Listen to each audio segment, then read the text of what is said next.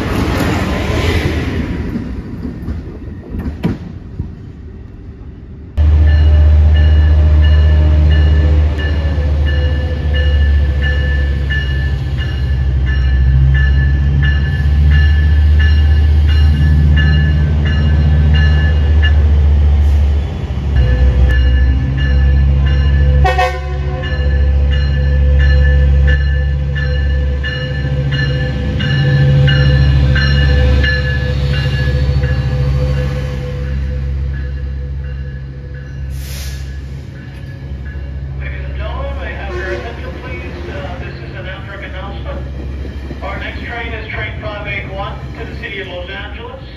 This train is currently on time